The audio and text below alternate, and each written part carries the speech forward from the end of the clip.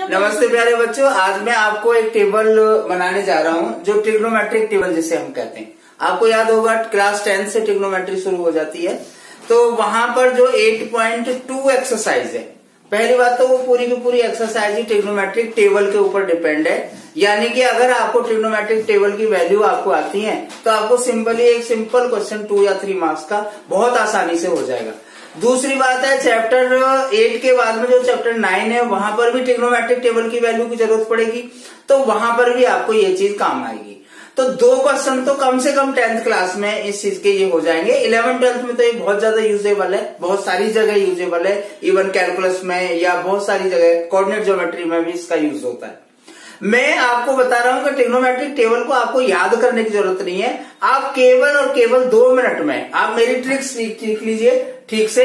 और दो मिनट में आप रफ साइड में टेक्नोमेट्रिक टेबल बना लो और फिर एग्ज़ाम में आराम से काम करिए। मैं बहुत आसानी से एक तरीका बताऊँगा, उसे आप फॉलो करेंगे तो आपकी एक बहुत बड़ी प्रॉब्लम सॉल्व हो जाएगी।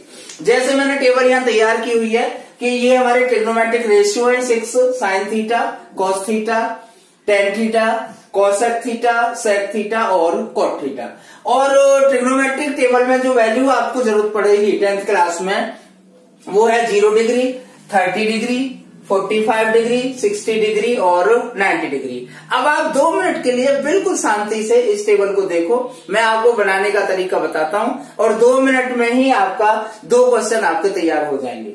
सबसे पहले आप यहाँ पर लिखिए ज़ीरो यहाँ पर लिखिए वन फिर लिखिए टू फिर लिखिए थ्री और फिर लिखिए फोर उसके बाद में आप इसके अपॉन फोर कर दीजिए, इसको भी अपॉन फोर कर दीजिए, इसको भी अपॉन फोर कर दीजिए, इसको भी अपॉन फोर कर दीजिए और इसको भी अपॉन फोर कर दीजिए राइट बहुत सिंपल काम है अभी तक का। उसके बाद में आप इन सभी पर रूट का साइन लगा दीजिए। सभी में जब आप रूट का साइन लगाएँगे तो आप देखेंगे कि फोर वन जा फोर कट जाएगा और यहाँ पर टू वन जा और टू टू जा कट जाएगा। अब आप देखेंगे ज़ीरो अपॉइंट फोर यानी कि ज़ीरो और ज़ीरो का रूट भी क्या होगा? ज़ीरो। अब देखना आप ध्यान से। उसके बाद में वन का रूट वन होता है और फोर का रूट होता है टू। उसके बाद में वन का रूट वन और टू का रूट होता है one by root two. Three का रूट थ्री रूट थ्री और फोर का रूट टू और वन का रूट वन। अब, ये हो गई हमारी साइन थीटा की वैल्यू साइन थीटा की वैल्यू को अगर हमें कॉस थीटा में कन्वर्ट करना है तो आप इसको ट्विस्ट कर दीजिए। टिल्ट कर दो इसको पूरा का पूरा। यानी कि ये वैल्यू आपकी सीधी यहाँ पर आ जाएगी। मतलब जो वैल्यू साइन 90 की होगी सेम वैल्यू कॉस ज़ीरो की होगी। आप कुछ मत सोचिए ज़्यादा। आप केवल इसे ट्विस्ट कर दीजिए। तो ये वैल्यू आ जाएगी ओबियसली यहाँ पर रूट थ्री अपॉइंट टू फिर वैल्यू आ जाएगी वन बाय रूट टू फिर वैल्यू आ जाएगी वन अपॉइंट टू और फिर वैल्यू आ जाएगी यहाँ पर ज़ीरो एग्री बहुत सिंपल काम है। इसके बाद में आपने ये फॉर्मूला आपको खूब आता होगा कि टेन थीटा जो होता है, वो sine theta upon cos theta के इक्वल होता है। मतलब साइन थीटा की वैल्यू को अगर हम कॉस थीटा की वैल्यू से डिवाइड करें तो टेन थीटा की वैल्यू आ जाएगी। तो ज़ीरो को ये वन वैल्यू आई है ज़ीरो को अगर हम वन से डिवाइड करेंगे तो ज़ीरो आएगा। इसको अगर हम इससे डिवाइड करेंगे तो टू से टू कैंसिल हो जाएगा और वैल्यू आएगी one by root three same चीज़ को डिवाइड करेंगे ओबियसली वन आता है। टू से टू डिवाइड हो जाएगा, कट जाएगा तो रूट थ्री आएगा। और ये आपको पता होगा कि any number divided by zero is not defined अभी तक मैथमेटिक्स को ये डिफाइन नहीं पता है। मीन्स इसे हम एंडी लिखते और कभी कभी हम इस सिंबल से इसे इंडिकेट करते। अब, आप ये जानते होंगे कि कौशक थीटा जो है, वो साइन थीटा का इनवर्स होता है।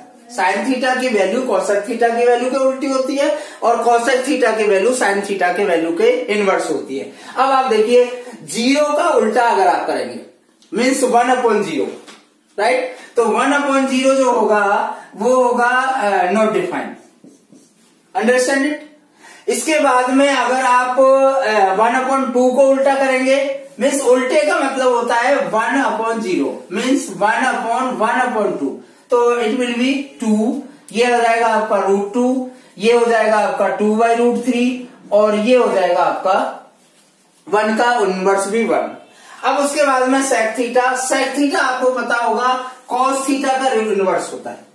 मतलब वन का इन्वर्स वन होगा, इसका इनवर्स होगा टू बाई रूट थ्री इसका इनवर्स होगा रूट टू इसका इनवर्स होगा टू और इसका इनवर्स होगा नॉट डिफाइंड अब उसके बाद में tan theta tan theta inverse होता है कोट थीटा का मतलब tan theta into cot theta is equal to one और tan theta is equal to one upon cot theta मतलब टेन थीटा कोट थीटा का उल्टा होता है। अब ज़ीरो का उल्टा one upon zero means not defined one upon root three का उल्टा रूट थ्री वन का उल्टा भी वन ही होता है इनवर्स ये वन बाई रूट थ्री और ये टेन थीटा है, यहाँ पर है आपका टेन थीटा का उल्टा. नॉट डिफाइन का, आप उल्टा करेंगे तो यहाँ पर आएगा आपका. जो कॉट थीटा टेन थीटा की वैल्यू है, वो अगर आप देख रहे हो ध्यान से तो टेन थीटा की वैल्यू भी टिल्ट हो जाती है कॉट थीटा के लिए. तो ये टेबल आपको बनकर तैयार हो गई. इसे बनाने में हार्डली आपको दो दो मिनट लगेंगे। आप फिर दोबारा से चेक कर लीजिए। Sine theta cos theta tan theta cosec theta sec theta और कॉट थीटा केवल आपको इतना पता होना चाहिए कि tan theta sine theta cos theta के रेशियो के इक्वल होता है। कॉसेक थीटा होता है वन अपॉन साइन थीटा के इक्वल और सेक थीटा होता है वन अपॉन कॉस थीटा के इक्वल टेन थीटा और कोट थीटा आपस में इन्वर्स होते हैं। तो ये हमारी टेबल बनकर तैयार हो गई है। टेंथ क्लास के बोर्ड एग्ज़ाम के लिए दो क्वेश्चन तो हंड्रेड परसेंट इसी से ही होंगे। और भी कई सारी चीज़ें आ सकती है। इलेवन ट्वेल्थ और इनवर्स टिग्नोमेट्री का बहुत बड़ा यूज़ है। तो अगर आपको ये टेबल आपको अच्छी लगे और समझ आए ओब्वियसली समझ आएगी ही आएगी। मैंने आपको एक ट्रिक बताई है, आप शेयर ज़रूर करिए अपने दोस्तों के साथ में। और इस तरीके की चीज़ें मैं आपको आगे भी और वीडियो के थ्रू देता रहूँगा। अगर आपको स्पेशल कुछ पूछना चाहते हैं तो ज़रूर कमेंट बॉक्स में कमेंट करें। मैं आपको उस तरीके की वीडियो बनाऊँगा। All the very best thank you very much